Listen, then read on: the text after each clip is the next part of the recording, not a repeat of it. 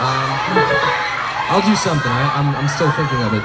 Um, so, I think a nice way to end this evening is to write a, uh, is for me to play a song that I wrote for uh, the world. Um, I wrote it uh, originally for Paul Walker and the Fast and franchise, and it took me, it took me the, it's the shortest song. Fun fact, this is like a little fact that pops up in the lower right-hand corner of the music video screen on VH1. It took me 10 minutes to write this, and it completely changed my life.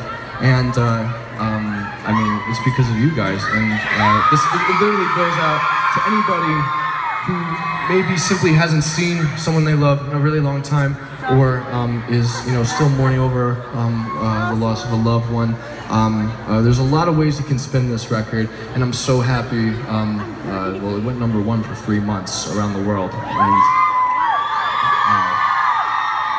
I'm so happy that you guys are supporting me. And uh, I, I know it's very easy to just listen to this stuff on Spotify or iTunes, but it means the world to us that you came out here tonight to uh, listen to us. So um, thank you for that.